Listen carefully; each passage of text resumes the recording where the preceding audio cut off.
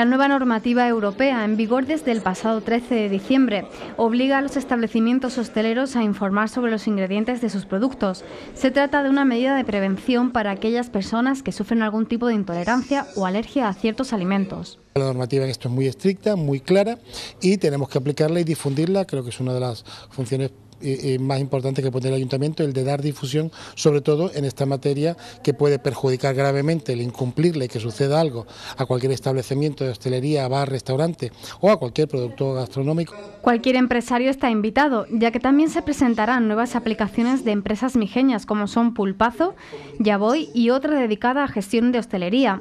También se aprovechará la ocasión para presentar la primera feria de la tapa, englobada en el mes de marzo, el mes de la gastronomía. Queremos que el mes de marzo, que ya es un mes pre, digamos, turístico, pues tenga una repercusión en uno de los elementos fundamentales que tenemos en Mija y que es gran parte de la base del turismo, que es el gastronómico. Las jornadas tendrán lugar el próximo martes 27 de enero en la Tenencia de Alcaldía de La Cala a las 7 de la tarde. Todo esto al final pues va a estar complementado con una degustación de vinos que lo prepara el Museo del Vino de Mijas Pueblo y que evidentemente pues eh, eh, va a tener mm, ese final de fiesta que todos esperamos y que aprovechamos ese final de fiesta para que todos los empresarios eh, hagan este networking